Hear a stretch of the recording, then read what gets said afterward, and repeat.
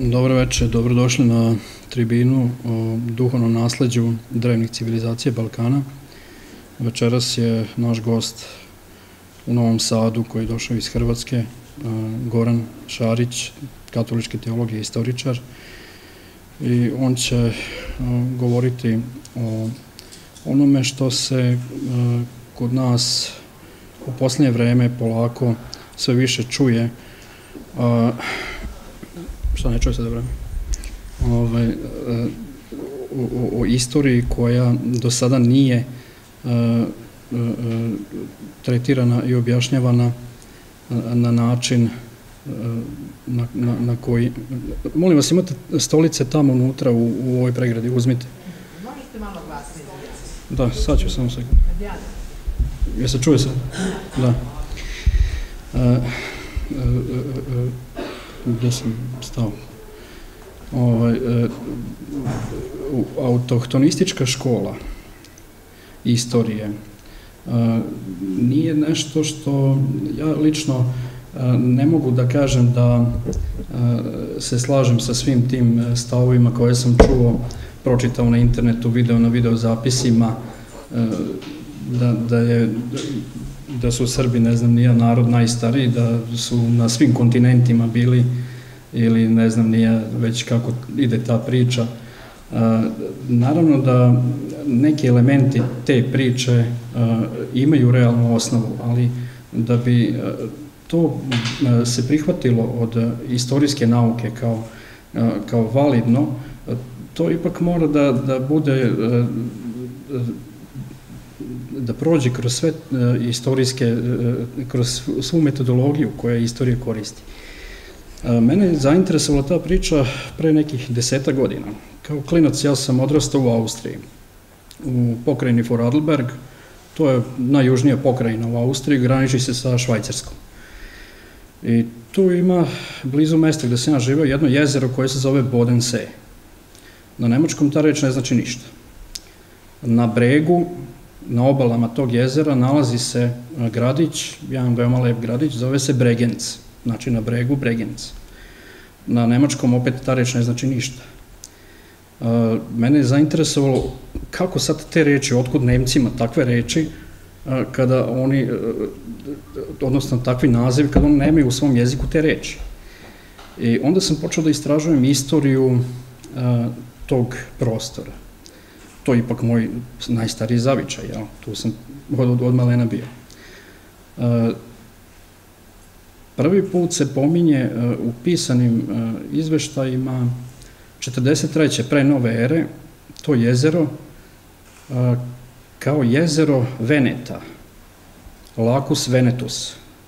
Rim, Rimljani su to zabeležili da tu, znači na tom jezeru žive Veneti. Zanimljivo je, Austrijanci za gradištanske Hrvate kažu da su Veneti, ili Vindi, ili Vindiše, oni kažu. Na isti način, u istočnoj Nemačkoj, Nemci oslovljavaju lužičke Srbe, kao Vindiše. Uopšte, Germani na svim prostorima gde su se dodirivali sa Slovenima, oni su Slovene nazivali Vindiše, ili Vindima. Toponimija Evrope, ima mnogo e, u, u, u svojim u korenskim rečima tih slovenskih elemenata. Kako to objasniti ako na tim prostorima više nema Slovena? Međutim, i pored toga Sloveni danas zauzimaju najveći deo Evrope, geografski su i u Srednjoj Evropi i u izlaze na Jadransko more i na Crno more i da ne pričamo o Rusiji, Ukrajini i drugim delovima koji su ipak dosta veliki. Mi smo na, učili u školi onu klasičnu istoriju po kojoj su Sloveni došli u 7. veku ili već kad.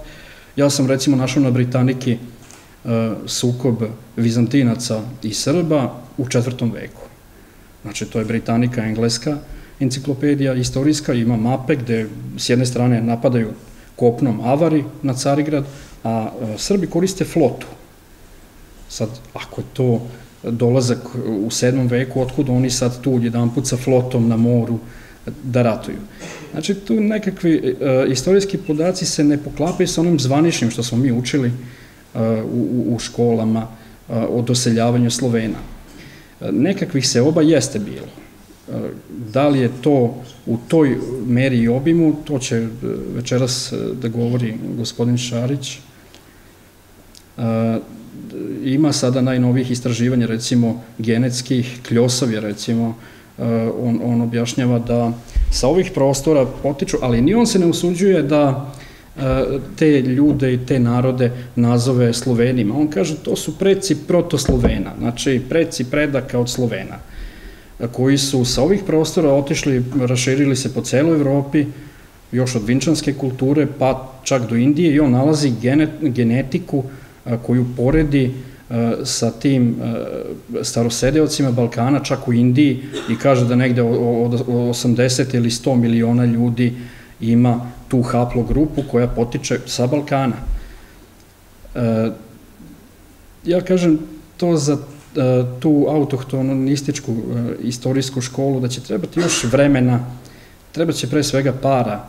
I to mora jedna ozbiljnija država da preuzme na sebe, da, da se bavi tim istraživanjima, da bi to na kraju e, bilo opšte prihvaćeno u svetu nauke. Ovo za sad, kako stvari stoje, mi imamo često situaciju da neko ko je mašin bravar izađe pa priča o tim stvarima, i onda on pronalazi Srbe negde u Južnoj Africi, ne znam ni ja, tamo među crncima, i onda se posle toga ljudi smeju takvim pričama. Takve E, priče u toj autohtonističkoj školi e, više štete donose nego koristi.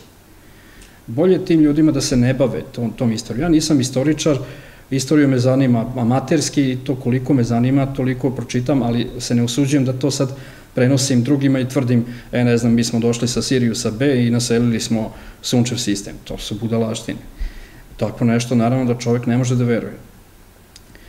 Da ne bi više davio, vidim da, hvala vam što ste došli u ovom broju, svi vi, svi vi čekujete, čujete Gorana, pa evo, prepustit ću reći sada njemu. Izvoli Gorana. Zahvaljujem se organizatoru na pozivu, a vama na dolasku. Evo, organizator je rekao na početku da Srbi nisu najstariji narod, pa mene interesira koji je narod najstariji. Evo, baš da vidim koji je narod najstariji ako Srbi nisu.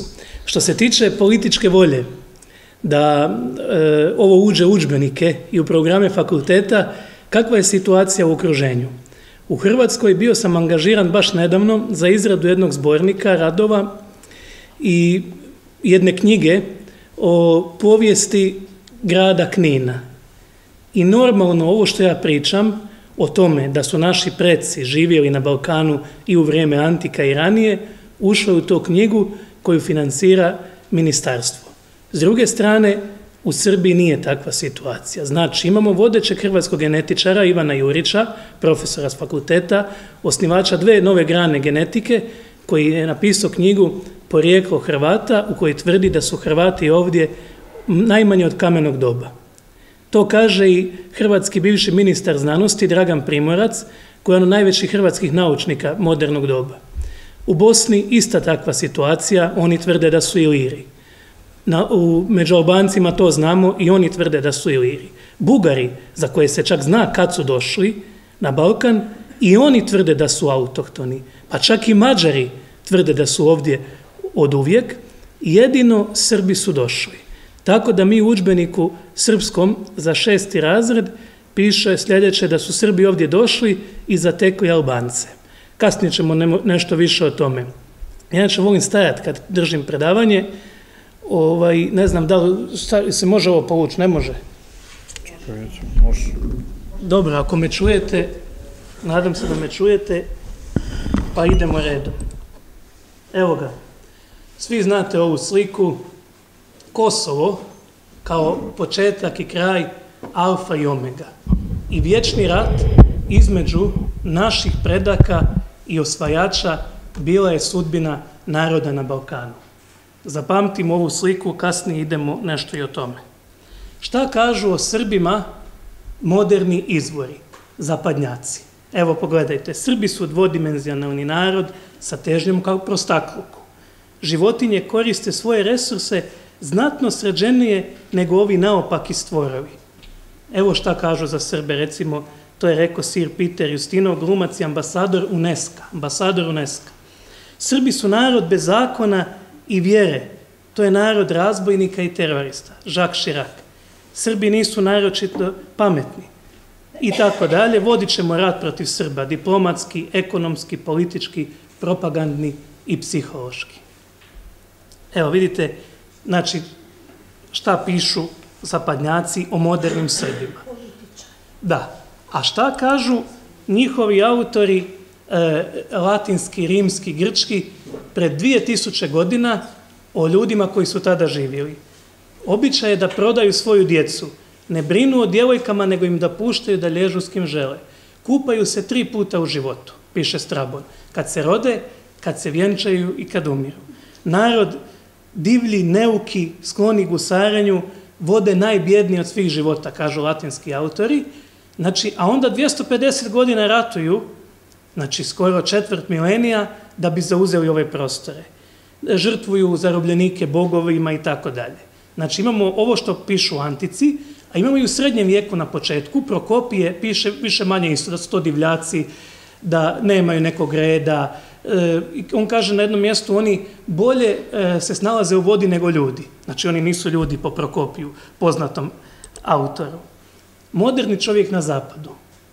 Čovjek na zapadu je tuđen i tendencija zapadnjačkog društva je e, atomizacija, povlačenja čovjeka u hedonizam, u neki svoj zatvoreni svijet.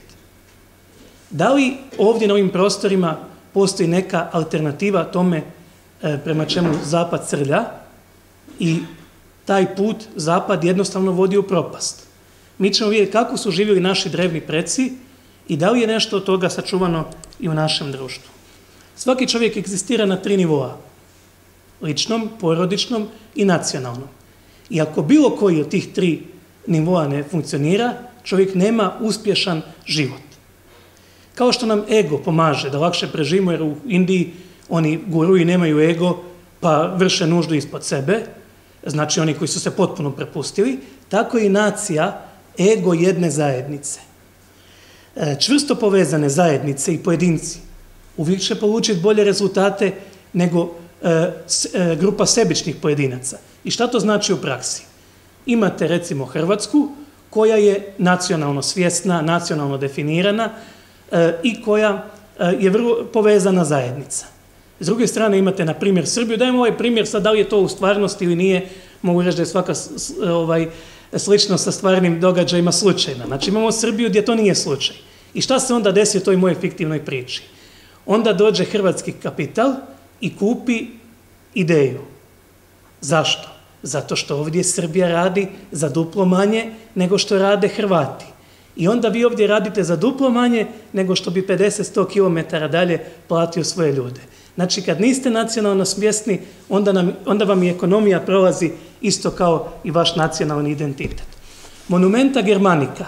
Odakle ideja da smo mi došli na Balkan, a da e, su Njemci autohtoni u Evropi i da su veliki narod. Kad se Njemačka nacija ujedinjavala, oni su za potrebu svoje nove države pisali svoje nove učbenike, nove knjige, novu povijest. I oni su tada imali ideju životnog prostora. Znači da je manje resursa nego što ima Njemaca i da su im potrebni novi resursi. Prema kuda su gledali? Prema istoku, to je čuveni njihov prodor na istok, i prema toplim morima i njihova ideja, gotovo obsesija, pruga Berlin-Bagdad, da bi iz Bliskog istoka dovozili sirovine. I to, ta se politika nazivala Drah na Gosten, prodor na topla mora. Na putu njihovih ambicija stajali su narodi Balkana. Stajala je tek oslobođena Srbija, Karadžorđeva, kasnije Obrenovićevska. I onda oni pišu čitavu novu istoriju prema kojoj su Slaveni jedan potpuno, potpuno nevredan narod u Evropi. Druga greška, zašto je to tako, je do nas. Jer naši autori često nisu pisali na njemačkom, na engleskom i kako da jedan engleski autor zna nešto o nekom otkriću arheološkom ovdje, ako mi to nismo napisali na njegovom jeziku. Kako rade arheolozi, nažalost, u Srbiji, istoričari, kad bi neko od njih za hiljadu godina iskopao na slavi McDonald's, rekao bi ovdje su živjeli Amerikanci. Znači, potpuno nekritički pristup e, nalazima, pristup historiografiji. Danas je potrebno, ja u svojem radu koristim preko 20 naučnih disciplina, od prirodnih nauka, kao što su meteorologija, kao što je botanika, pa do e, društvenih, pa do jedne genetike, genetičke genealogije, forenzičke antropologije, da bi stvorio jedan mozaik. Danas nije dovoljno samo da čitamo šta je neko pisao, jer postoji svjesno znanje u istoriji. To je ono što su pisali autori tog vremena i ono je uvijek nekako politički obojeno. Jer normalno da jedan Turčin o tursko-grčkom ratu piše s pozicije Turske, kao što jedan Grk piše s pozicije Grčke.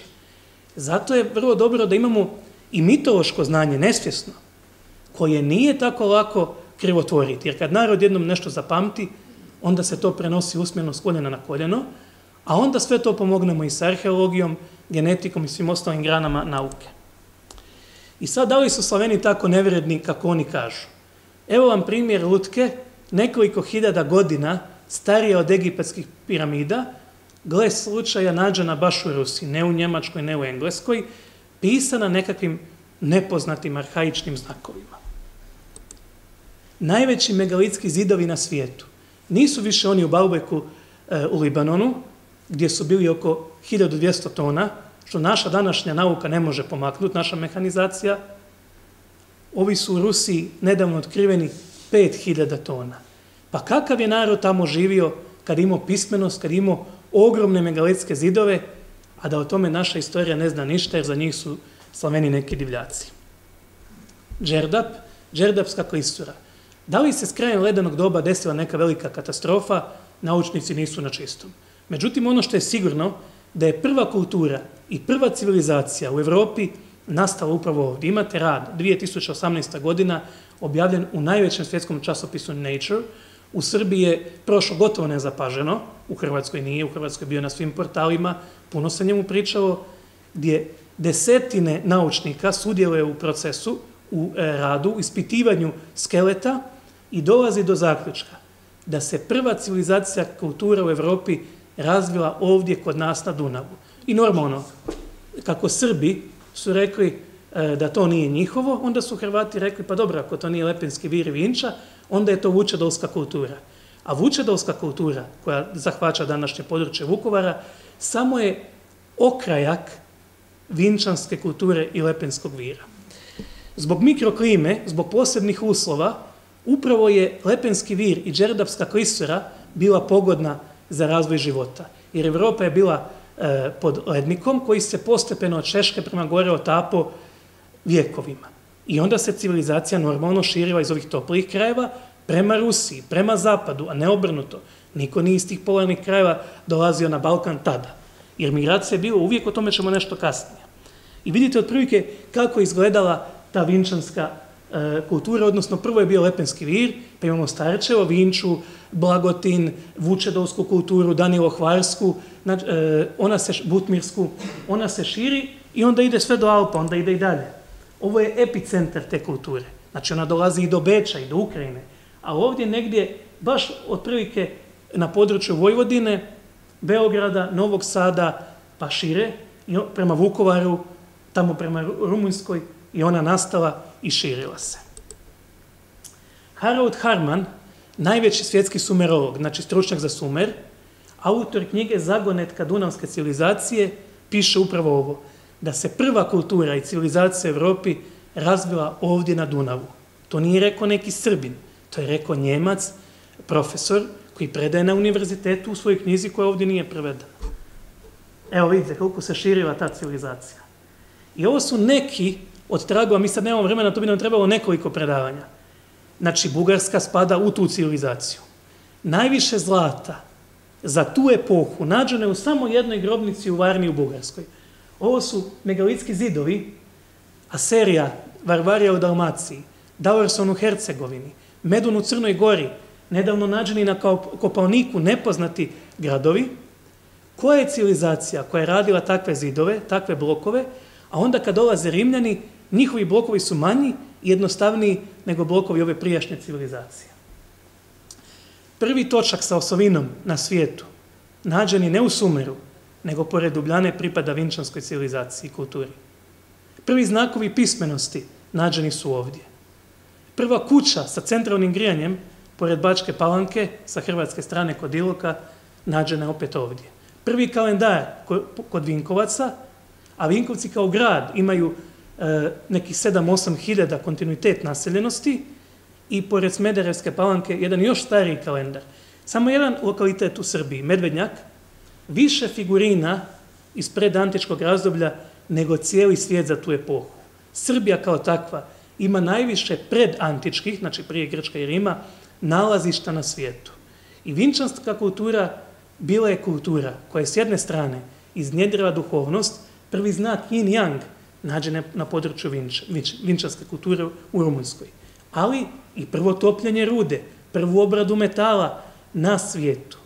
Znači, civilizacija koja ima i duhovnost i tehnologiju. I šta je u stvari dar onda Vinča čovječanstvu? Pismenost, kultura i civilizacija. Kad su pred nešto više od 100 godina eh, arheolozi skopali vinču, njihov prvi zaključak je bio da je to jedna kolonija, možda Mikenska, Grčke Rima. Kad su došli e, rezultati datiranja, otkrili su da, da nije Vinča bila kolonija Grčka i Rima, nego su Grčka i Rim nastali na razvalinama Vinče. Šta je homo sapiens? Pa možda onaj prvi čovjek koji je postavio pitanje zašto. Jer je životinju zanima kako je nešto nastalo, odnosno kako da dođe do hrane, recimo, ili je zanima šta je izazvalo neki zvuk, neki problem. Ali samo čovjek postavlja pitanje zašto. I onaj čovjek koji je prvi postavio pitanje zašto je u stvari Adam. Adam postavlja pitanje zašto. Gdje imamo prvu predstavu o besmrtnosti duše? U Vinči, u Lepenskom viru. Svaki oltar, svaka kuća koju smo tamo našli ima e, svoje pretke tamo, figurine predaka, ima oltar i ima svijest, znači kad ima oltar predaka, o tome da naš fizički e, kraj nije i kraj egzistencije naše svijesti. Znači, ideja o besmrtnosti duše, ako i nije nastala ovdje, u svakom slučaju je prisutna ovdje od najstarijih vremena. Arhetipska životinja Srba je vuk, ne znam da li to znate. Zašto vuk? Zato što i tigra, i lava i medvjeda možete vidjeti da pleše u cirkusu, ali vuk nikad. Znači, kao simbol hrabrosti, svoje volje, a i vjernosti. Vuk je čitav život sa jednom partnericom. Ako ostane bez nje, nikad više ne nalazi drugu. Mitovi. Nema naroda bez mita. Narod koji nema mit nije narod. I onda mi čujemo od naših političara srpsko društvo živi u mitovima. Ja nisam vidio da srpsko društvo živi u mitovima. Ima po neki mit, recimo da će ulazak u Evropsku uniju donijeti Srbima bolji život. To je recimo jedan mit srpskog društva. Drugi mit je da Evropska unija nema alternativu, sve ima alternativu u životu, pa tako i Evropska unija. Treći mit je, na primjer, da na Kosovo ima 2 miliona albanaca, a nema. Znači, to su mitovi. A ja nikad u Srbiji, a živio sam dvije godine u Srbiji, a dolazim često, nisam čuo nekog da mi kaže mi smo najstariji narod, mi smo najbolji. Znači, ti mitovi o kojem političari pričaju možda su postali nekad. Možda su oni u njih vjerovali dok su bili članovi e, nacionalističkih stranaka. Međutim, ja nisam vidio u normalnom srpskom društvu da postoji sklonost mitovima, dok sam u nekim drugim društvima to vidio. Evo, nedavno, jedan njemački autor kaže mi njemci smo ludi za istorijom i za mitovima. Kako oni smiju, a Srbi ne smiju? Znači, mit kao prije svega nije laž. Mit je stvarni događaj koji je s vremenom e, popremio kolosalne dimenzije. I kad ga pričamo nekom drugom, ako on ima pravi ključ, onda to nije bajka onda je to poruka koja se prenosi iz generacije na generaciju. Mit ima pedagošku ulogu, on je kohezivni faktor za držanje jedne nacije. Jer ako mi svi baštinimo jednu bitku naših predaka i sjećamo se kao jedne bitke časti, poštenja, hrabrosti, onda nam je ona izvor nadahnuća za naše buduće bitke koje ne moraju biti oružane, koje mogu biti ekonomske, koje mogu biti naučne. I vidimo da nema društva bez mita. Ovo su mitovi Amerike. Amerika kao mlada država nema svoje bitke. Mislim, ima agresije po svijetu, to baš i nije nešto sa toga radi mit. Prema tome, oni su stvorili čitavu popularnu kulturu sa mitskim superherojima i oni nemaju svog Kraljevića Marka, nemaju svog Obilića. I onda su ih morali izmisliti. E, ritual uvijek ide uz mit. Da vas sad ne gnjavim sa ovim, ali u ritualu uvijek mit postaje kontekstualiziran tek onda kad ide uz ritual. Zato se proslavljaju godišnjice. Zato nekad praznici, svečanosti. I koji je bio prvi i osnovni arhetip vinčanske kulture? A mi ćemo onda vidjeti da li ti arhetipovi, ti mitovi, ti rituali postoji danas u našem društvu. Prije svega žena i majka. Majka sa djetetom. Majka koja rađa djete. Vinčanska kultura obožavala je ženu i majku. I vidimo u kršćanstvu kasnije isti taj arhetip majke sa djetetom. Trojstvo, naši drevni predsi vjerovali su u trojedinog Boga, u Lepinskom viru sve kuće su građene na trokutastoj troglasnoj osnovi, a vidimo u kršćanstvu tek od četvrtog vijeka imamo trojstvo. Ranije nema. Evo jedan prikaz slavenskog trojstva. Dvosjekla sjekira, labris, kasnije preuzeta od Grika i Rimljana, kod Grika i Rimljana, Zeus i Jupiter, prvo je nalazimo u Vinči. Ko ima sjekiru? Pa naš bog, Perun, gromovnik.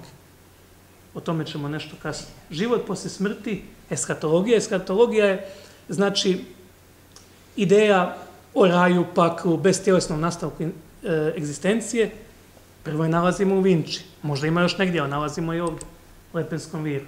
Slava, slava direktno vezana na to. Nijedan narod danas nema slavu. Slava postoji isključivo kod Srba. A vidimo je već u Vinči, čak i naznake ocila u njihovim tim slavskim oltarima, a prva ocila nalazimo nešto poslije vinčanske kulture, možda ima i ranije, to se istražuje, recimo na području Rumunjske, gdje imate onu boginju koja ima na svojih haljini ocila. Serbona, je Serbona, neki zovu Serbona, ima razna imena, Aštorta, Hibela, Kubaba, Diana, Artemida, to je ta boginja majka, to je taj arhetip majke iz Vinče. Jer Vinčansko društvo je 2000 godina bez rata, baš zato što slavi svetu ženstvenost. Ovo su sveci, čitav kut svetaca ne postoji u Bibliji. On u kršćanstvo dolazi pod utjecajem između ostalog i naše religije. I kako je papa radio, kad je pokrštavao Slovene, Germane, rekao je nemojte uništavati njihove bogove, nego ih pokrstite. I tako su naši cveci, kao recimo Jarilo, postao je sveti Juraj. Sveti vid, e, e, postaje, odnosno vid, e, postaje sveti vid. Sve vid. Imamo u, ma ima ih koliko hoćemo, da ne idem sad jer ti ćemo predaleko. Perun Ilija. Pa Ilija, o Iliji ćemo isto nešto kasnije, Ilija je vrlo važna figura. Sveti Vlaho u Dubrovniku Veles. Ovo je simbol sunčevog kruga, jer su naši predsi bili i stočari i ratari. Kasnije Hitler uzo svastiku i izopačio je. Kasnije taj krug vidimo u hosti, znači u katoličkoj crkvi. Dionizijske svečanosti, iz kojih se razvio i moderni teatar, i moderne misterije, pa možda i tajna društva kao što je masonerija, nalazimo prije Grka kod Tračana. Grci pišu da su ih preuzeli od Tračana. Ko su bili Tračani? Mario Alinej, vodeći svjetski lingvista, kaže Tračani su samo ime kojim je Herodot nazvao Slaveni. Znači, Tračani žive na području antičke i predantičke Srbije i Bugarske. Kola, imamo kola i u drevnoj Vinči i u vreme antike na ovim prostorima, kola imamo i danas kod Srba trostruka kruna. Naši preci su vjerovali da postoje tri svijeta, jav, nav i prav. U kršćanstvu papa je vladar neba, zemlje, nižih oblasti, opet tri svijeta. Monasi postoje i kod nas, nekad, postoje kasnije u kršćanstvu. Ne kažem da je kršćanstvo preuzelo apsolutno sve. Samo pokazujem da su arhetipi bili prisutni i kod nas, neki su preuzeti, a neki su univerzalni, a neki su posredno preuzimani najstariji prikaz ribolikog božanstva na svijetu nije iz Sumera, nego iz Lepenskog vira. Imaju kasnije kronike srednjovjekovne gdje kaže cijela Srbija služaše Dogonu. Dogon ili Dagon je bog koji izlazi iz vode. Imamo ga kod Sumera, imamo ga u Babilonu. Evo ga, a imamo ga i na papskoj kruni i generalno onim e, tijarama, odnosno tim kapama, mitrama koje nose e, katolički biskupi. Vidimo, to je taj Dagon, prikaz iz Babilona. Krst kao simbol, puno stariji od kršćanstva, do trećeg pa i četvrtog vijeka, simbol kršćanstva je bila riba. Sa, na pjesku bi se povukla jedna crta, jedan kršćanin, drugi bi povukao drugu.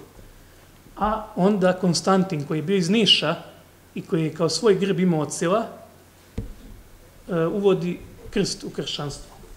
Nalazimo ga od Vinče do Stečaka, svugdje širom Balkana.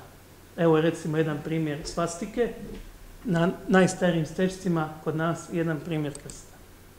Trački konjanik, e, kao osnovni mitski heroj Tračana, nalazimo ga kasnije njegove osobine kod Kraljevića Marka, on je onaj koji vodi iz ovog svijeta u onaj svijet.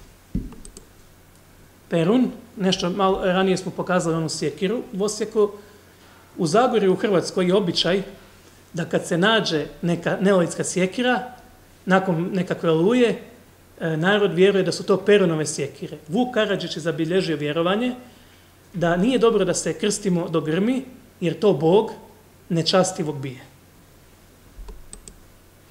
Ovo je Jario, ovo je Veles, izvinjava se, koji je neprijatelj Peruna. I to je ta velika borba Peruna i Velesa, koju kasnije vidimo u kršanstvu između Sotone i Isusa. Potpuno isto. Mokoš, kao boginja majka, opet ona boginja pod raznim imenima, što voli sve razni narodi, jedno od njih je i Diana, pa da ne ulazimo sad u etimologiju, ovo je ta velika borba, ovo je Perun koji nečastivog bije. Perunove karakteristike kod Srba, pa i u Bosni, pa i u Dalmaciji, preuzeo je Sveti Ilija, gromovnik, Perun gromovnik. Ovo je običaj koledavanja. Još je Herodot, Herodot zapisao da Slaveni, koje on naziva Neuri, Budimi, Tračani, imaju običaj maskiranja. Taj običaj nalazimo, ja mislim i u Vojvodini da su postale maškare. Postoji dalje. E, a u kraju iz kojeg ja dolazim, postoji karneval gdje bude po 10.000 i više ljudi. Ovo je Mara koja krajem godine postaje morana, ona koja mori. Ona je žena Jarila, Perunovog sina, kojeg Veles otima i vodi u podzemni svijet, ali on uskršava kad? Baš na uskrs. I ženi se sa njom, koja mu u stvari polusestra, zato Ivandanska svečanost gdje su oni žene, ima elemente incesta, pa je tako razuzdana. Inače, orgijastički kultovi postoje u vreme Vinče, u vreme Antike, na ovim prostorima, a i danas su njihovi elementi sačuvani u nekim kolima u Srbiji. To je jedan od tih najstarijih kalendara, kolo dar, kolo godine u svoje vrijeme daje dar. Koja je etimologija zvanična? Pa Rimljani su u jednom mjesečno u tom e, dobu godine uzimali dar. Pa to je kolodar. Meridan, meridian, mjeridan. I tako dalje, da ne idemo sad sve redom. Koliko je star srpski kalendar? Onoliko na koliko je datirana Vinča. Uzmite dataciju Vinča, 7.500 godina, prvi nalazi, a toliko vam je i srpski kalendar. Kako? To su ta kola, orgijastički kultovi. Krajem godine palio se badnjak, jer se suncu pomaže na dan kad je ono najslabije da se ponovo rodi. I tad se rađa i Perunov sin Jarilo, a imamo Božić kasnije u kršćanstvu, tek od četvrtog vijeka, nema ga ranije. Ne postoji zapis da kršćan slave Božić prije četvrtog vijeka. Opet je to kod nas prije nego u kršćanstvu. Kako je živjela vinčanska civilizacija? Da ne čitamo sve sad. 2000 godina bez rata i sukoba, život u poštovanju prirode, u suživotu sa prirodom. Vinčanac je u svemu vidio jedinstvo. Čak i prividne suprotnosti bile su dio jedne šire slike. I upravo je vinčanska paradigma ono što ja nudim zapadu i što mi možemo ponuditi zapadu koji umire, koji je izgubio duh. A mi sa vinčanskom paradigmom, paradigmom vraćamo duhovnost u zapadni svijet. Moć sadašnjeg trenutka u praksi – milijunski bestselleri na zapadu koji uče zapadnjake ono što ovdje već postoji. Ono što je ovdje prenošeno s koljena na koljeno.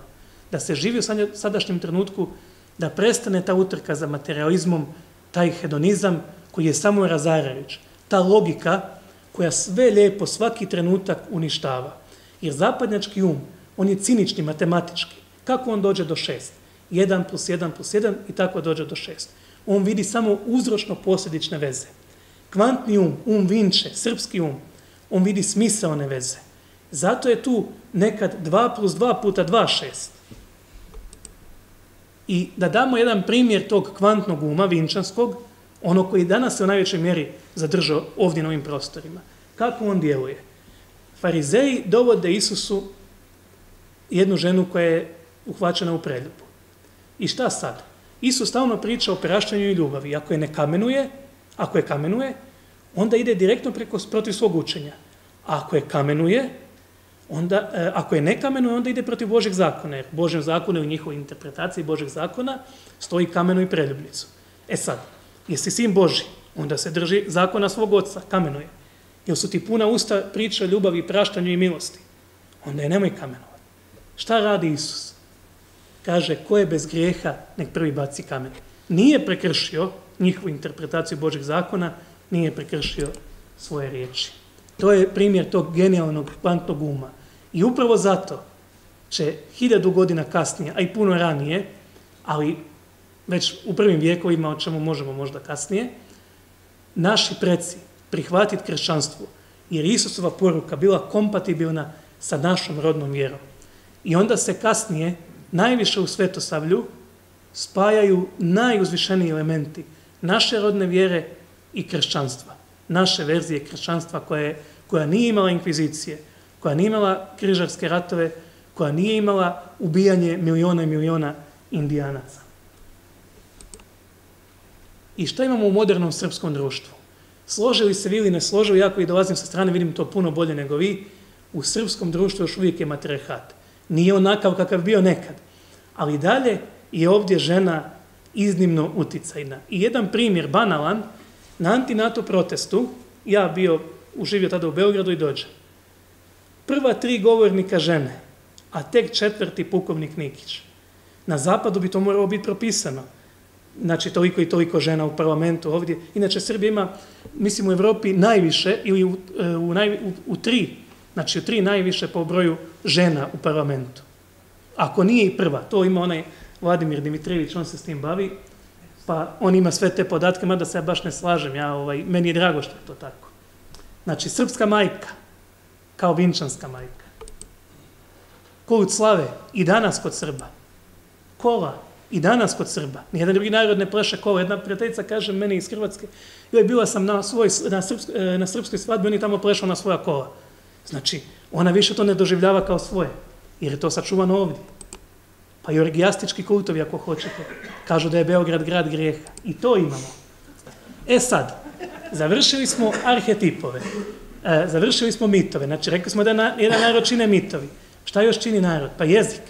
Ako dokažemo našem organizatoru večeras, da su naši drevni predci pričali tim jezikom, završili smo stvar, onda ne moramo onaj treći dio predavanja. Znači, ajde da vidimo kojim su jezikom ti ljudi pričali.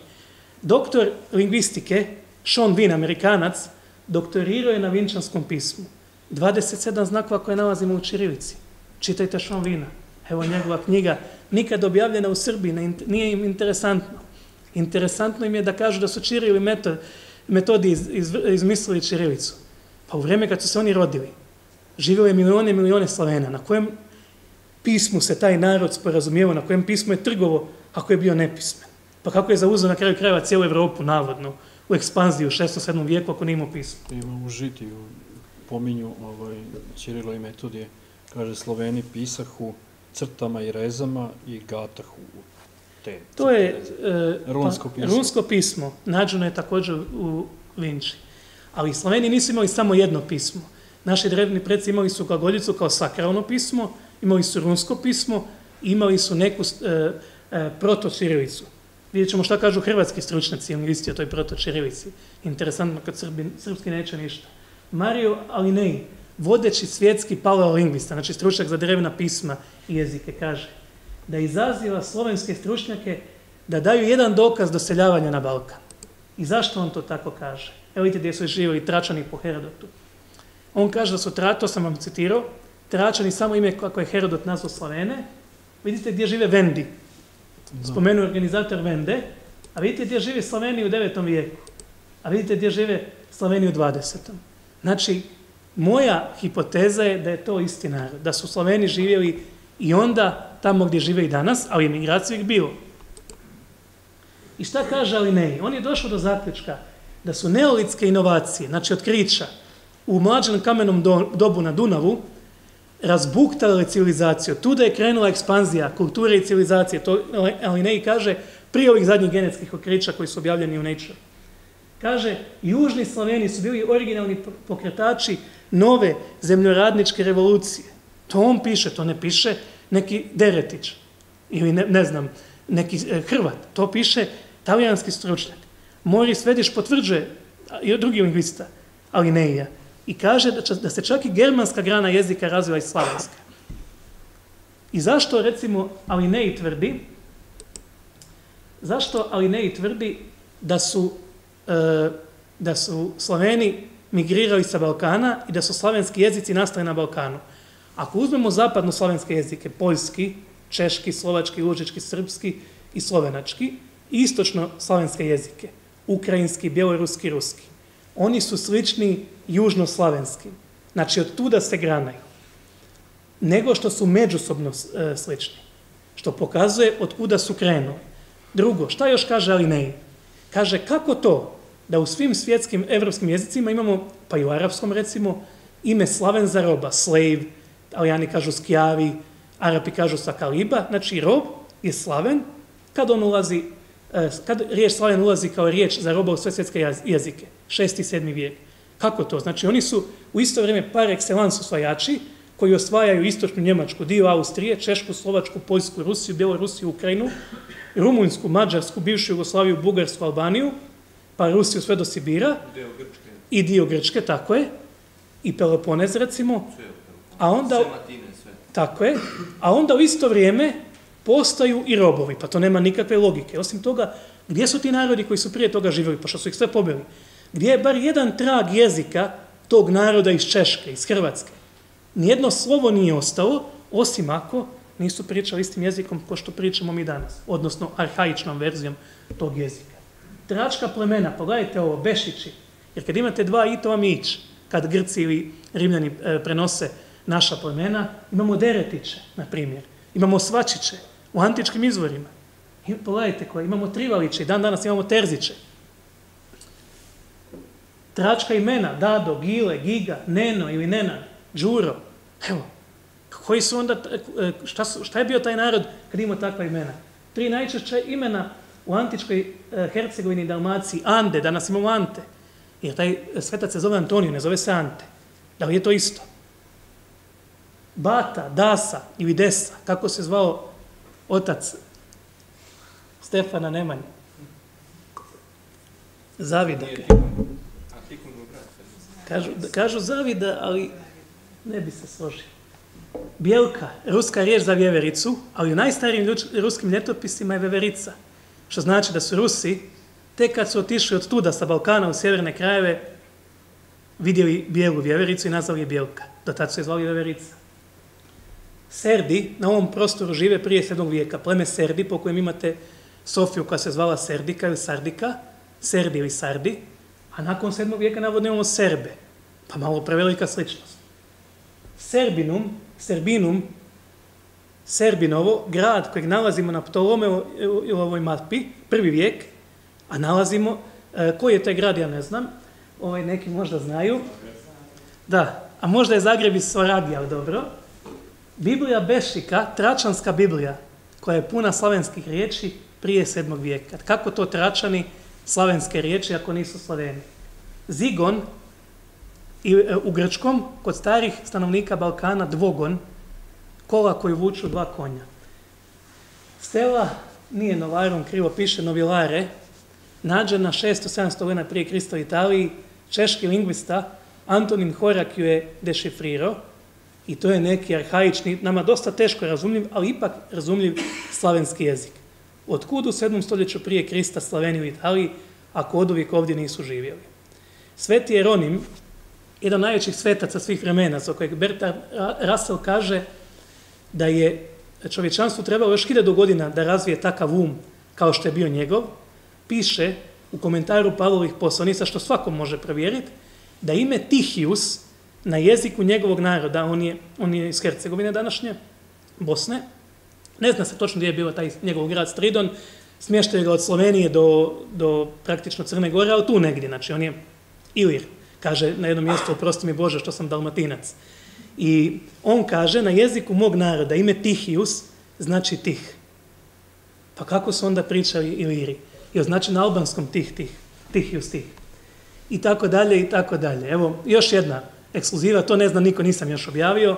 Kako se kaže, kod Jeronima on piše, kaže, u mom narodu mi jedemo jedno jelo od zobi. I kaže, to jelo se zove zobaja. Pa kojim su jezikom pričali ti ljudi? Znači, crno na bijelo. Nisam rekao ja, nego sveti Jeronim.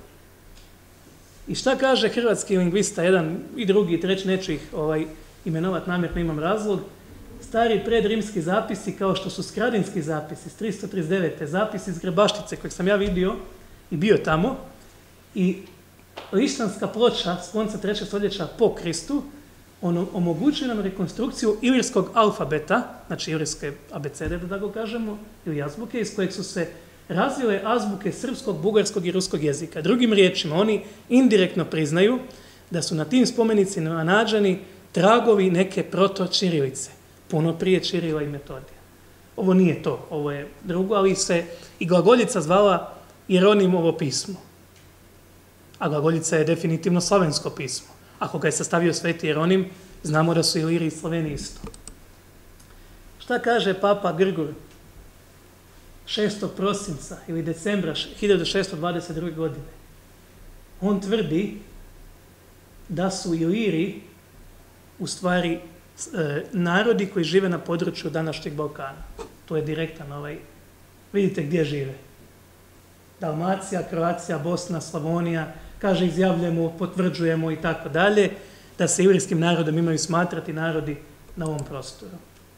Jedan prikaz isto tako tog arhaičnog pisma i sad smo došli do sanskrita. Znači, detektirali smo da su oni pričali očigledno nekim protoslavenskim, pisali protočirilicom i pogledajte veze. Sanskrit i srpski i engleski da vidite. Baga, Bog, God, sveta, svetli, bright. Griva, griva i tako da redom, da ne idemo, sad vidite sve. Znači svaki put je srpski slični nego engleski, a navodno je to indoevropski jezik. Pa kako onda engleski nije toliko sličan? Imate na YouTube jedan indijac, vam detaljno priča o sličnostima srpsko-hrvatskog i sanskrita. On baš kaže srpsko-hrvatski ili hrvatsko-srpski. E, I sad, kod Ranke Kujić mi nalazimo prva žena koja je doktorirala keltistiku u Engleskoj, ona nalazi dvije hiljade istih riječi kod Kelta i u srpskom. A sad nalazimo isto i u sanskritu. I koje je rješenje? Da su Sloveni živjeli od, recimo, Njemačke, gdje su se dodirivali s Keltima, pa do, preko Rusije do Indije, gdje su se dodirivali s indicima. I samo tako je moguće objasniti sličnost i keltskog i indijskog e, jezika, odnosno sanskrita, sa našim jezikom. Prema tome, Sloveni su tada živjeli gdje i danas žive.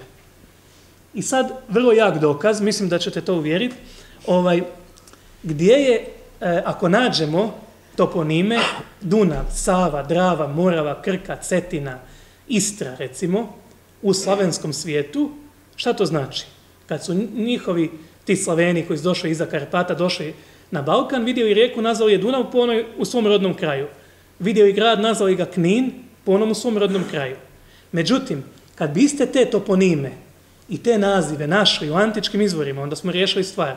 To znači da su ti liri, tračani, dačani, sardi, kako su sve, sve zvali, pričali istim jezikom kao i ovi u Poljskoj, Češkoj i Ukrajini. Znači, bili su Slaveni. Šta nalazimo? Dunav u antičkim izvorima.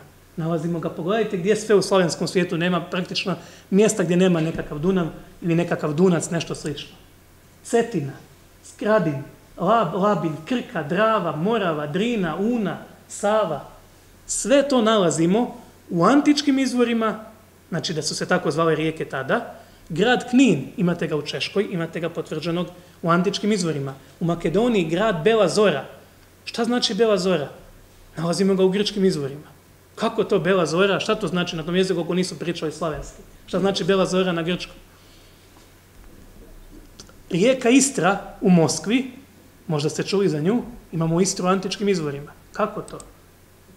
I šta kaže jedan najvećih vatikanskih lingvista svih vremena, koji imao uz, e, uvid u izvorne dokumente, evo pogledajte šta kaže, sad ćemo tu, da se već na temelju najstarijih spomenika zaključuje da se jezično općenje jezikom koji se naziva ilirski, slavenski, ili slavenski, pazite šta on kaže, Sebastiano Dolce, doktor, profesor u Vatikanu.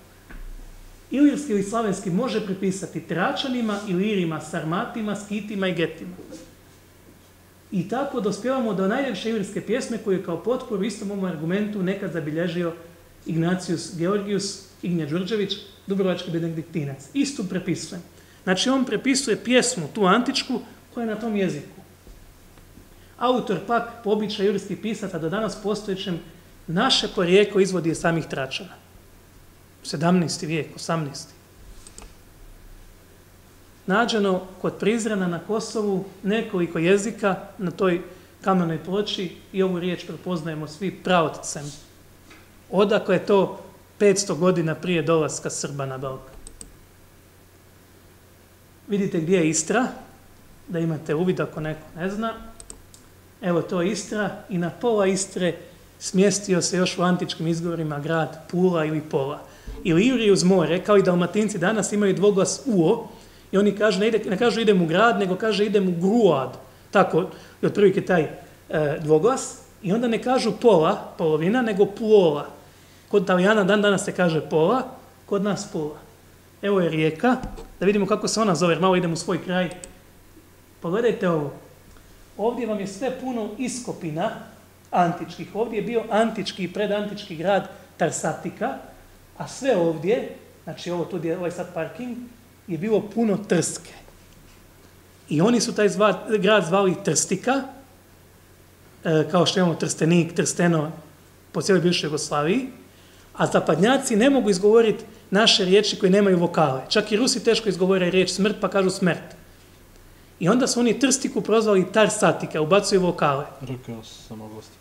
A R je kod nas samoglasnik tvrdo R, koje se jako dobro čuje u Srbiji, evo ni ja kao nekakav kvazi zapadnjaga ne mogu izgovoriti dobro, ovaj, koje se u Srbiji dalje koristi, pogotovo u Južnoj Srbiji, e, igra ulogu vokala. I to imamo i kod tračana. Zašto tračani? Oni su u stvari bili rašani, ali Grci ne izgovaraju to tvrdo R i onda dodaju T i onda ispadnu trašani. Hoćemo otkriti je trušan ili ćemo to drugom prilikom, dobro. I vidimo šta se desilo. Znači, završili smo jezik. Mislim, nakon ovog kome nije jasno kojim su jezikom pričali Iliri, nek uzme albanski riječik pa nek čita. Ovaj, imamo sad treću stvar, da definitivno ovo zakucamo, a to je genetika. Genetika koja nije presudna. Jer pazite ovo, da shvatite jednu stvar. Na primjer, da imam hrvatske gene. Tako uzimam, nemam postoje hrvatske gene, Srbi i Hrvati imaju iste gene, ali recimo da imam hrvatske. Moja žena ima srpske. Pošto mi gledamo po istoj liniji, Kad moja žena rodi sina, on ima samo hrvatske. Jer ona steđe Y hromosom od mene. I kad se gleda analiza na Y kromosom, on je hrvat. Sad ono ženi srpkinju i ponovo mu ona rodi sina.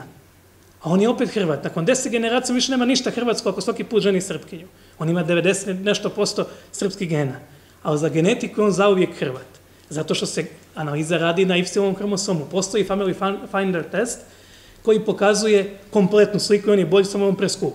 Mi ćemo se ovdje držati po muškoj liniji, pa da vidimo što nam kaže genetika. I šta kažu srpski genetičari koji normalno nikad se ne slažu s onim što ide Srbima u prilog. Po grčkom mitu i predgrčkom, ta mirna žena, matriarhalna, ta vinča, uzjahala je bika. Ko je bio taj bik? To su bili preci današnjih zapadnjaka, koji su pre četiri i po hiljade godina provalili u vinču i razorili vinču. Muška populacija Evrope je 12 puta smanjena tada. Vidjet ćemo to. Ameba često puta kaže su Srbi stariji od ameba, a mi ne bi imali ove genetske testove da nismo preko amebe razvili genetiku. I znamo šta je genetika, da podsjetimo nekoga ko ne zna, znači znanost koja se bavi proučavanjem gena, češki redovnik Mendel je otkrio tako što je ukrštao biljke, pa je vidio da mi nismo mješavina pola od oca, pola od majke, nego su neki geni dominantni. Znači, ako moj otac ima crnu boju očiju, a majka plave. Ja neću imati smeđe, nego mogu imati ili crne, ili plave, a pošto svaki od mojih roditelja ima još rezervni par gena, možda moja, moja majka ima rezervno smeđe i otac rezervno smeđe. I onda ja dobijem jedan par od oca, jedan od majke, onda koji mi bude e, dominantan.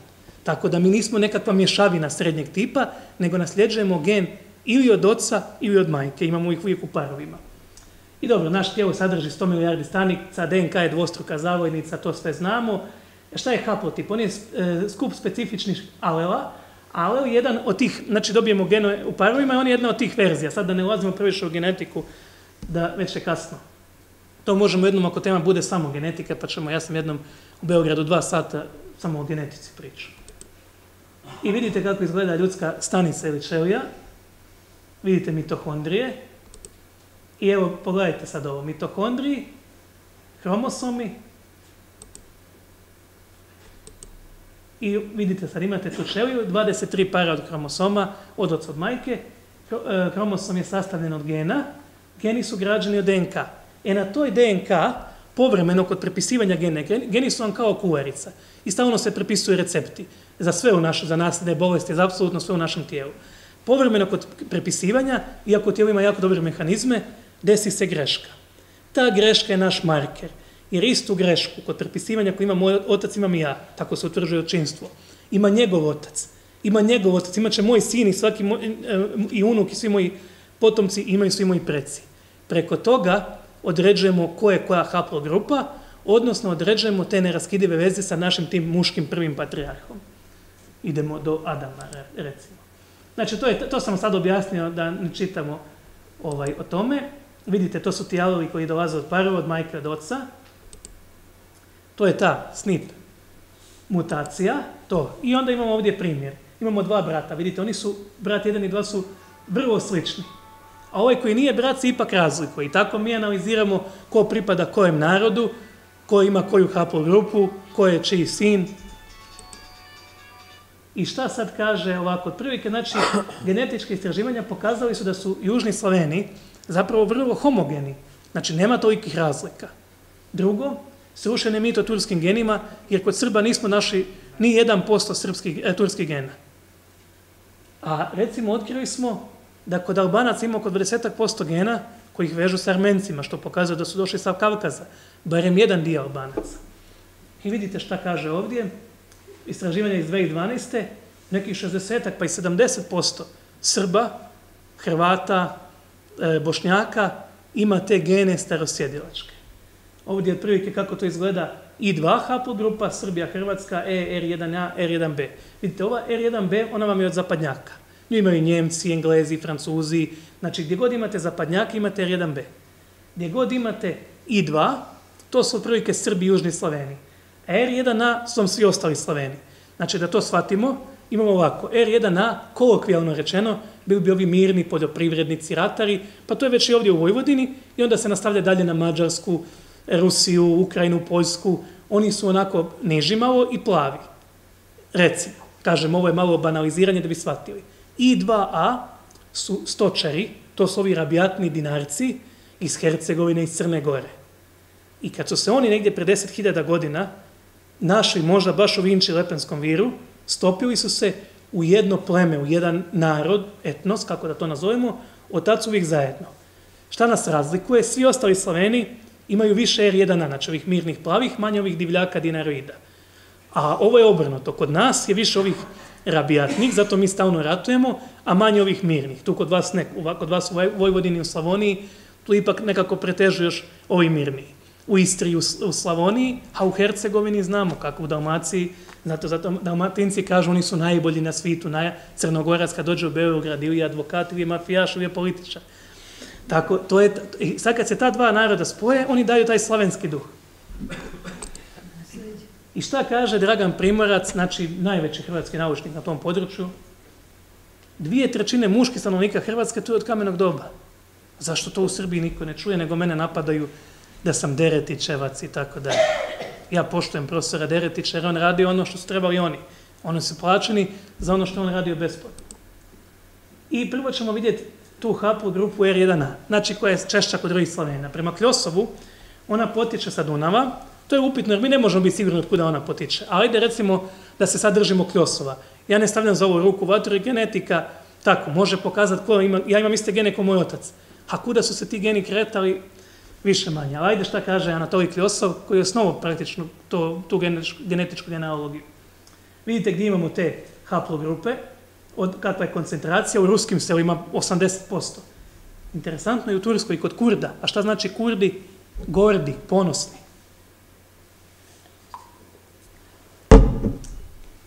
I sad ćemo vidjeti put te haplogrupe. Pre 10.000 godina prema Kljosovu, ona je na Lepenskom viru. Znači, sad podvlačim za one koji možda to budu gledali snimak, da nisam to rekao ja. Jer oni kažu, re, e, priča je na predavanju da su Srbi krenuli iz Balkana i obišli cijeli svijet. Ovo je rekao Anatolij Kljosov. Pre 10.000 godina ti poljoprivrednici R1A su na Balkanu. Lepenski vir Vinča. Pre 4.500 godina bježe od provale zapadnjaka i idu u ruske stepe. Dalje, nakon provale Santorinija, nekakvih tektonskih promjena u narodima koje vidimo recimo i u Bibliji, kad Bog kaže da izveo sinove Izraelove iz Egipta, ali izveo i Filistejce iz Kaftora i Aramejce iz Kira, idu dalje prema Indiji. Interesantno da je Netanjahu izjavio da su Srbi i Jevreji prijatelji od biblijskih vremena. Kako to? Vučić nije imao pojma o čemu on priča, jer nije imao savjetnike koji bi ga to naučili.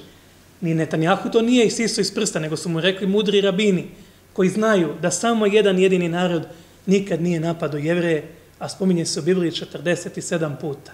Svi ostali su ih maltretirali e, u vrijeme pisanja Starog Zavjeta. Taj narod mislilo se da je izmišljen sve do 19. vijeka, zvao se Hetiti. Hetiti, Geti, oni koji idu, koji hodaju. U kraju od kod ja dolazim kaže se hote kao idite. Znači, e, Kelti, Selti, oni koji se sele. E sad, ti Hetiti nisu bili Srbi, nisu bili ni Slaveni, bili su mješavina protoslavena i Semita, što vidimo u njihovom jeziku. Imaju boga Perona. Recimo, Vunu zovu Hulana. Neke riječi su im iste, neke nisu. Ali vidi se jedna jezgra, vjerovatno ratnička, koja je putovala preko Rusije, preko Indije, gdje kao što je spomenuo organizator, 100 miliona do 100 miliona ljudi ima tu genetiku, to su oni u najvišim kastama, oni plavi iz Bollywooda. Šatrije. Tako je. I vidimo da to Netanjahu zna, a da naši političari to ne znaju. Vidite kad su provali Indiju pre 3600 godina i vidite im taj put. I to su te u stvari arijevske, arija, e, arijevske migracije. Migracije arijevaca ili arijaca, kako ih neko zove. I vratili su se nazad. Znači, seoba je uvijek bilo, ali uvijek ratničke skupine. Ko se danas seli? Gledali ste migrante, 90 nešto posto su muškarci, u svu infrastrukturu koju imamo. Tada nije bilo autobusa i toga. Pa ko ide sa milion žena i djece i staraca negdje? A ratničke skupine idu, oni su na konjima, brzi, lagani, otmu hranu kad naiđu. Sad smo došli do ove druge hapl grupe koja je češća na Balkanu kod Srba, Hrvata i Bošnjaka.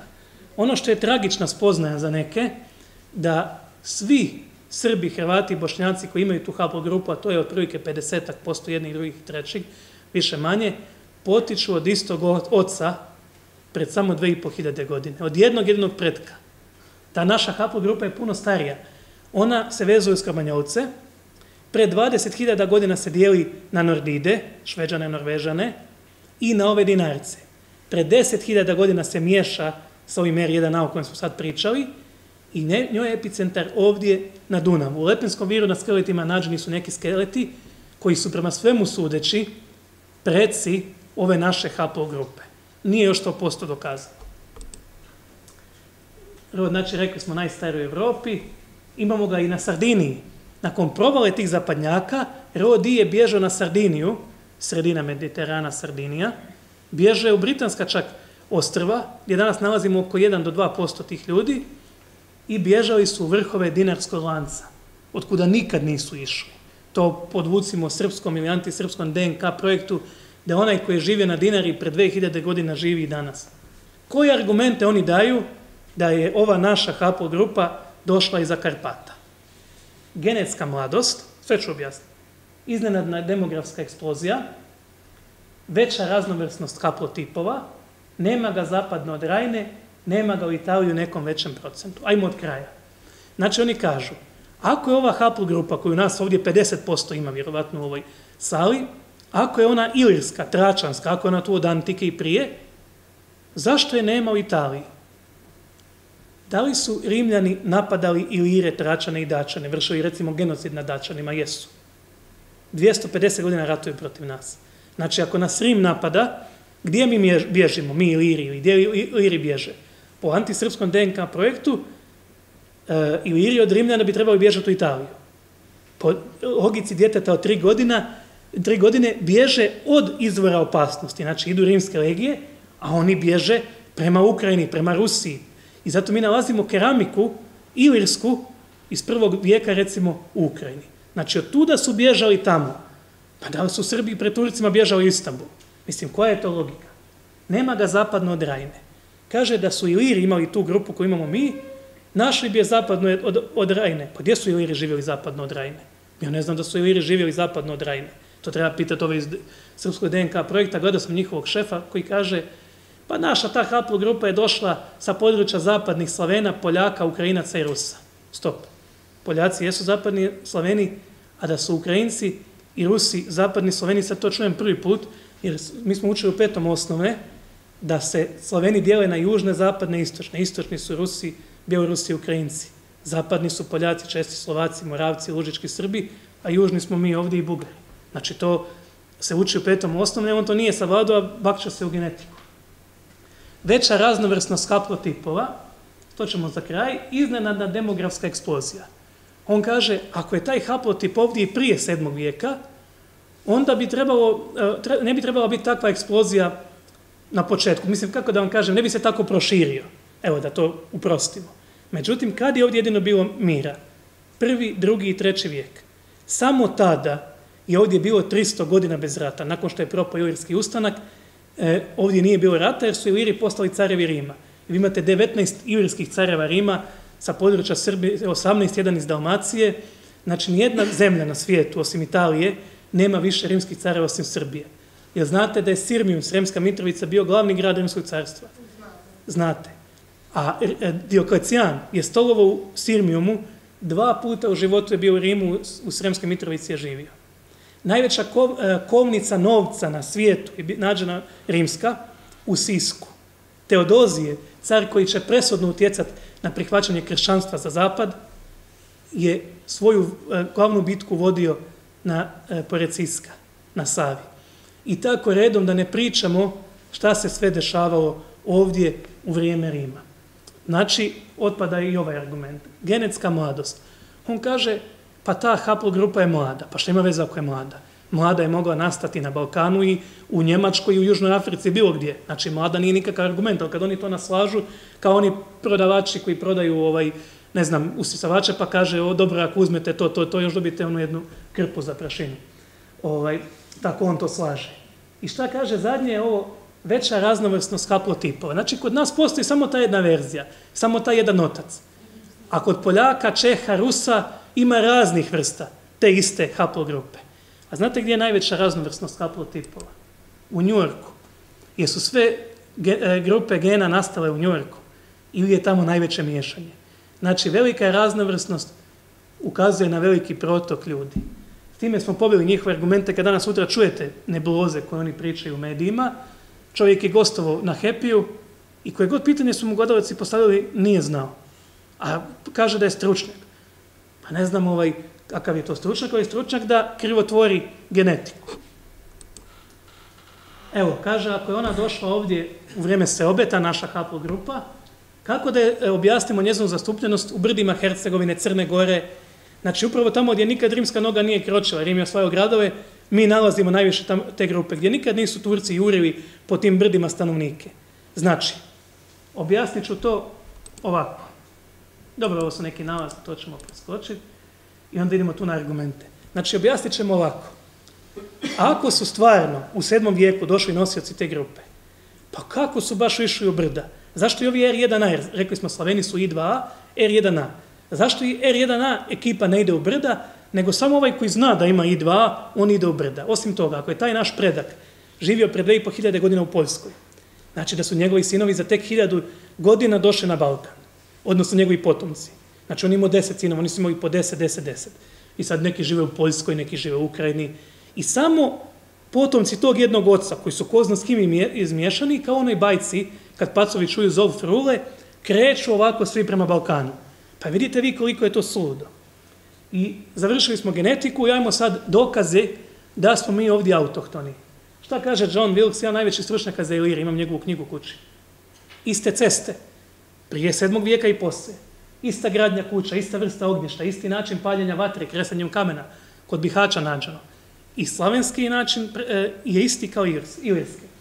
Isti ukrasi s prevladavanjem geometrijskih likova, isti način izrade ukrasa, ista obuća, haljetak, imate kapa, lička kapa, ista kao kapa japoda, imate opanke koje nose Iliri, koje nose Srbi i svi na Balkanu do 20. vijeka. Isti način ljevanja metalnih predmeta, keramika, numerički sistem, isti toponimi, predrimske društvene tradicije u društvenom ređenju, recimo na Pagu, jednaka podjela zemlje koji Iliri, do dana dana se zadržao.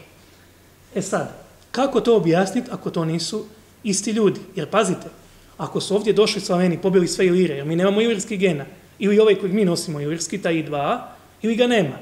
Pa znači, ako su oni pobili te ljude, kako je to onda sve isto? Idemo dalje. Isti način gradnje grobova. Jesu samo groba, e, grobare sačuvali sve ostale pobio. Isti pogrebni običaj, slava, plesovi, kola. Pa Iliri imaju slavu. To je lar njihov, po kojem se možda i zove Iliri, možda. Kola, današnja frula i ondašnja frula. Upotreba kalupa za pečenje hljeba. Običaj ponovne rasprijeve zemlje, to sam sad rekao. Lička kapa, tetoviranje koje postoji u kontinuitetu tribali, jedno pleme na području današnje Srbije se tetoviralo. Tetoviranje imamo u Bosni do 20. vijeka, recimo. Istočna Srbija, Rumunija. Istočna Srbija, Rumunija, evo. Jurijska imena, na, vodili smo ih prije, Tihijus, Tihomir, Dasa, Desa. Jurijska plemena koja žive do danas kao Svačić ili Deretići. Magija, pazite magiju. Kako se inicira u magiju? Tako što te vještica inicira. I mi imamo samo dve magije na Balkanu. Vlaška, koja je starosjedilačka, i Ilirska, koja je opet starosjedilačka. I šta je sad neka baba, ovaj dođe, ubija muža, ubija sina, unuka, a ona ga fino inicira u svoju magiju. Pa to nema... Samo ta magija ruši cijelu njihovu priču, da mi nismo autohtoni. Pogledajte naše autore, nema ni jednog jedinog do 19. vijeka i Bečkog kongreska 1878. Berlinskog, pardon, koji nije govorio da smo mi autohtoni. Pogledajte ko svi. Svi najveći autori, najobrazovaniji na ovim prostorima pričali su o našoj autohtonosti. Čitajte njihove knjige. Od Mamira Orbinija do Pribojevića, ne znam, Bartol Kašić, Gundović. Šta kaže Gundulić, jel zna neko za Aleksandra Velikog? Aleksandar Srbljanin. Evo, to je rekao puno prije Deretića. To ima jedna priča, ja u osmom, tako je, I ja sad e, bio sam na knezu i naletio nekakav istoričar srpski priča, ajme, Aleksandar Veliki, Aleksandar Veliki. Njega pitam, pa kojim jezikom je govorio Aleksandar Veliki? On kaže makedonskim. Ja pitam, pa koji je to makedonski jezik? Pa to je neki jezik kao grčki. Kažem, pa zašto mu onda treba prevodioc za Grke? Pa ne znam, ali to je neki arhaični jezik. A ja kažem, pa da li je možda taj makedonski, da nije on sličan, nije sličan srpskom, odmah je skočio. Ja kažem, dobro, znate vi neku riječ tog jezika? Kažem, ne znam. Jel znate kako je zvučao, gramatiku, znate neki, ne znam. Ali znate da nije srpski. Znači, ne znate ništa o tom jeziku, ali znate samo da nije srpski i da nije sličan srpskom. I onda sam ga pitao, i znate ko je rekao Lesandar Srbljan, on kaže Deretić. Ja kažem, nije Deretić. Lesandar, da? Les, šuma. Da, da, les, šuma, po lesu, po bogu šume. Da, da, šuma. Evo šta kažu neki od stručnjaka. Još 89. godine arheolog Đuro Basler, da starosjedio, da starosjedioci čine do 90% stanovnika. Arheolog Đuro Basler. Nisam ja rekao. Šta kaže Neven Budak, vodeći hrvatski ekspert za srednji vijek? Da je starija historiografija vjerovala da seljavanje, a danas se vjeruje da smo ipak većinom autohtoni.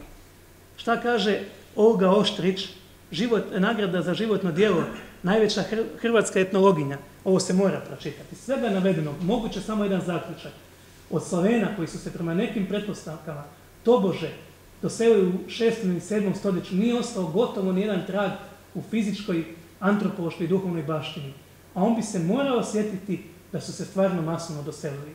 Ostaje kao jedina mogućnost da se doseljavanje sa sjevera stvarno događalo, ali samo u manjim ratničkim družinama. Ono što smo pričali. Šta kaže Florin Kurta u svojoj knjizi Stvaranje Slavena, da su oni ovdje i prije 7. vijeka najveći svjetski stručnjak za slavene arheologi, profesor iz Amerike. Ni ta knjiga nije kod nas provedena.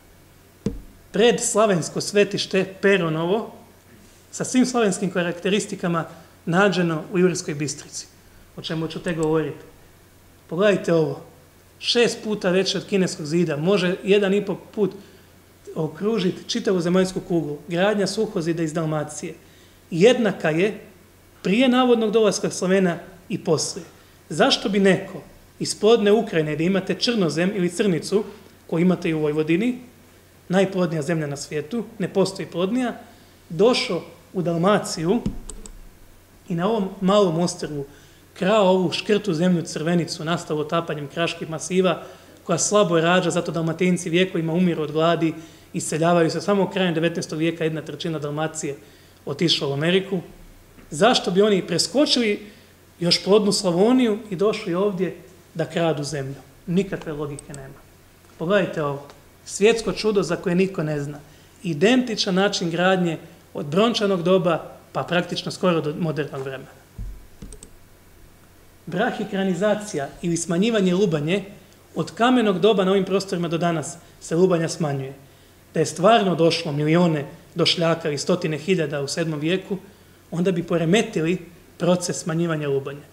Osim ako su baš ovi sa malim lubanjama došli tada, ovi s velikim nisu. Tetoviranje smo rekli, evo vam lička kapa, vidite ko je vodio, nije Deretić. On je vodio e, istraživanja i vidio da je lička kapa jednaka kao kapa Japoda. Japoda je pleme, Japodi su pleme u antičkoj lici. Ova kapa koju imaju štrumfovi, mljetska kapa, koja je nađena i u Maloj Aziji, antička i u mljetu sve do danas. Frigijska kapa, takozvana. Pogledajte Kosovo, narodna nošnja. Ivirsko pjevanje, identično kao pjevanje u krajevima Like, Dalmacije, Dalmatinske Zagore, Krajine, Hercegovine. Napoleon, kad je osvojio ove krajeve, nazvao ih Ilirske provincije. Trogir, Dalmatinski gradovi, peti, šesti, sedmi vijek, svijeta kult, svetaca, heroja, mučenika i ratnika koji je došao s istoka. Grade im se crkve. Kako to ako ih obsjedaju Sloveni? Znači, Sloveni obsjedaju Trogir, Solin, Zadar, Umjesto da se izgrade bedemi, oni grade crkve. Jedino ako nikakvih većih seoba nije bilo. Pogledajte ovo. Ovi krajevi, otkud ja dolazim, Rijeka, Istra, preko dve godine, hiljade godina u kontinuitetu izloženi latinskom ili romanskom ili italijanskom jeziku. Preko dve hiljade godina. Kad neki narod preuzima nečiji jezik, ili ako ga ovaj pokorio, ili ako je taj narod kulturno superiorniji. Ako oni nama kažu da su Slaveni bili nepismeni kad su došli na Balkan, kako to da ja nalazim već u devetom vijeku taj govor, iako Slaveni niti vladaju rijekom, ni u Zadru, niti su kulturno napredni. Znači da je narod pričao istim tim jezikom. Dioklecijano, njega smo spominjali,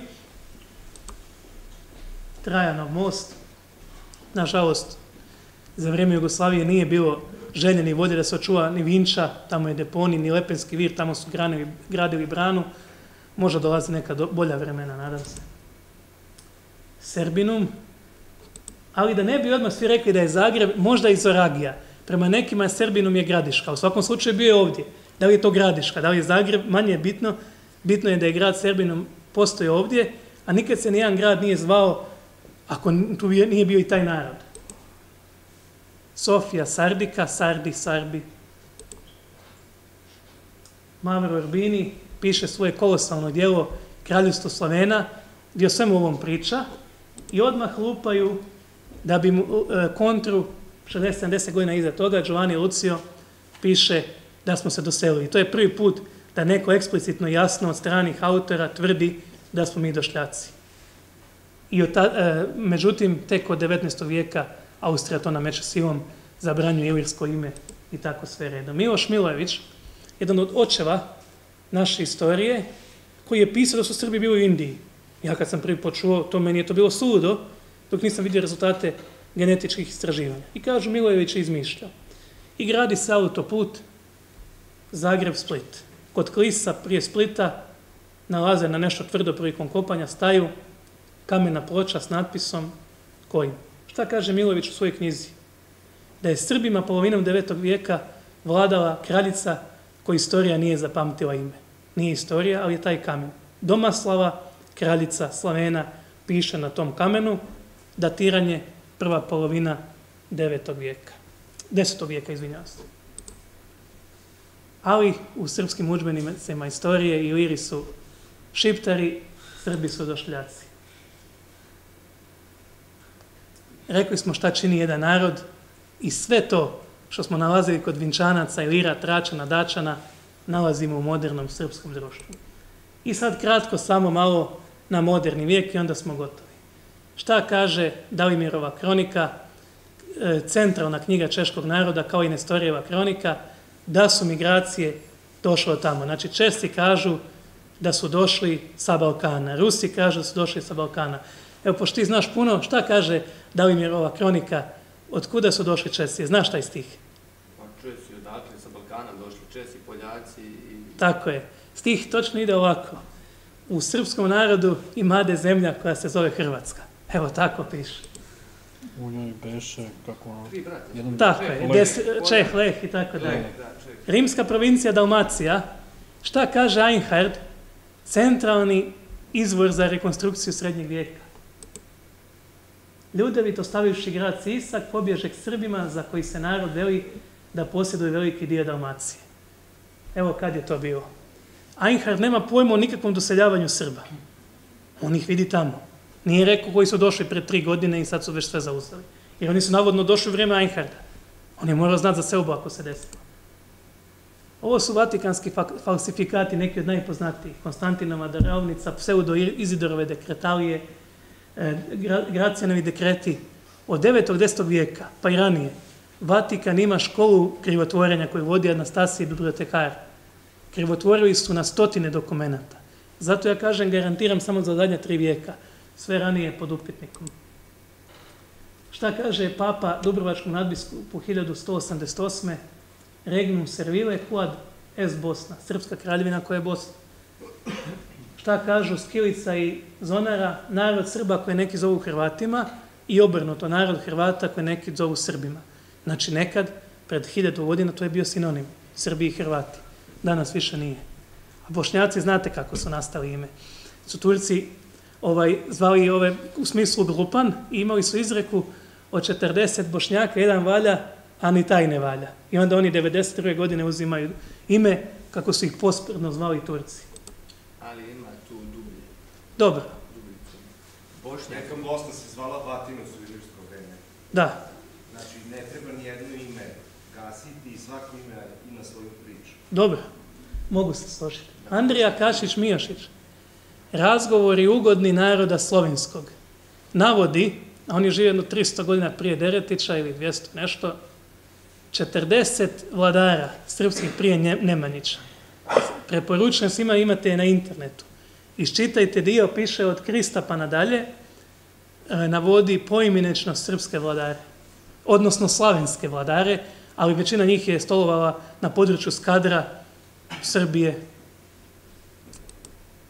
Sveti Sava, dolazimo znači do Nemanjića, do tog stapanja kršćans, i rodne vjere i pošto u Svetosavlju nije bilo inkvizicije i pustite te priče da je on pobio trećinu bogomila, to je Pavelić rekao, ako vjerujete Pavelić, onda to je druga stvar. Znači, nije, to je Bogumili su jedna tema opet za svoje predavanje, međutim, nema veze s tim. Tu se stopio taj čisti duh kršćanstva i čisti duh naše predačke vjere i e, pošto nije bilo inkvizicije, onda su se svi ti običaji poput slave sačuvali. Jer zašto rušiti nešto što je bilo prije ako je dobro? Dušanovo carstvo nazvano Magnum Illyricum, a navodno nemamo veze s Ilirima. Evo, da, evo ga, pa to je jedna cijela, najvjerovatnije da je Dušanova vlast dopirala. Čekaj sad. Najvjerovatnije je da je Dušanova vlast dopirala i do Istre, jer ja sam našao tamo jedno najčešćih imena Dušan. A zna se da je e, Jelena Šubić e, vladala Klisom, da je e, u- u Klisu i u Dalmaciji e, narod očekao oduševljenu Dušanovu vojsku.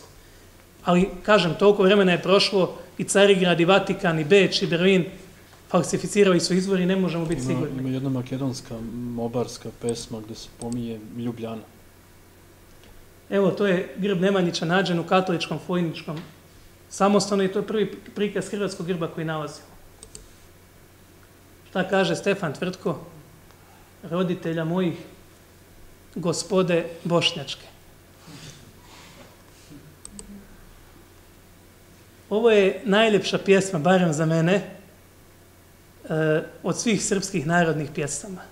U vrijeme kad na zapadu i u čitavom tada svijetu, odnosno ovom zapadnom, ajde, našem, ako neko siluje ženu, kazna za ženu oslepljivanje. Kakva je žena prava imala tada u Evropi ili na Bliskom istoku? Gdje imaju više žena, gdje svjedočanstvo žene na sudu ne vrijedi, gdje žena nema pravo glasa. A ovdje vitez prašta ženi preljubu. Znači, ne da je on oteo silovo pa i ovako bi oslijepili, nego je on prašta preljubu. Znači, kakva pjesma o ljubavi, o časti, o nesebičnoj ljubavi čuvana u našem narodu. Nevjerovatno, opet taj duh matriarhalni vinče.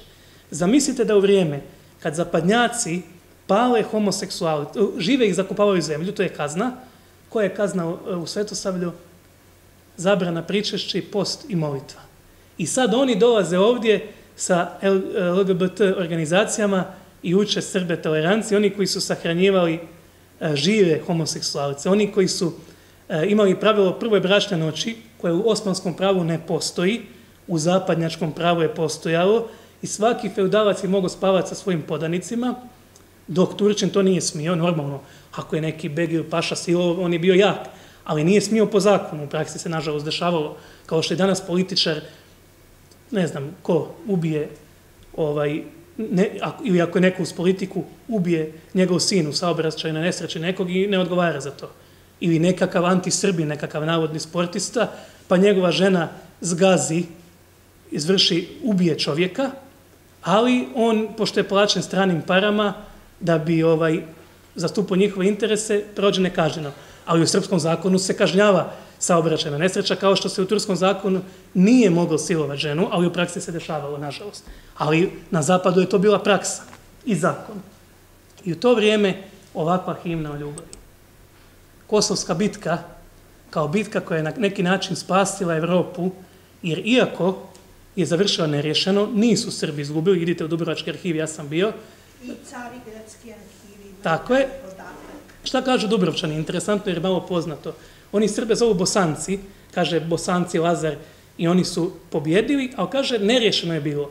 Jer je bio težak e, ovaj udarac za Srbe, kojih je bilo puno manje. Tri mjeseca nakon toga udaraju Ugari i šta radi carica Milica? Jedino što je mogla. Birala između katoličanstva i islama. Pokazalo se da je ipak manje zlo bio islam. Da sad ne ulazim u elaboracije. E, Daniele Ferlati i tri generacije svećenika išli su po cijelom Balkanu i skupljali su svu arhivsku građu iz manastira, samostana, privatnih zbirki i biblioteka. To je bilo hiljade i hiljade i hiljade dokumenata smještenih u Jurijski muzeju u Bolonji, netragom su nestali. Međutim, ono je svojoj knjizi Liricum Sacrum, a on je jedini čovjek koji ima uvid u sve dokumente e, koji spominju Ilire, koji su postojali tada, pre 300 godina, piše da su Iliri i Sloveni i tadašnji stanovnici Balkana jedno. I šta kaže doktor Višeslav Aralica, profesor povijesti, hrvatski povjesničar, kad pogledate iz perspektive zapadnjaka, Srbi su doista druči od svih ostalih slavenskih naroda. I on kaže da skratimo da su sve ostale dinastije u Evropi imali germanske vladare, a samo Srbi svoje narodne vladare, i to čak tri dinastije u tom periodu 19. vijeka o kojem on priča.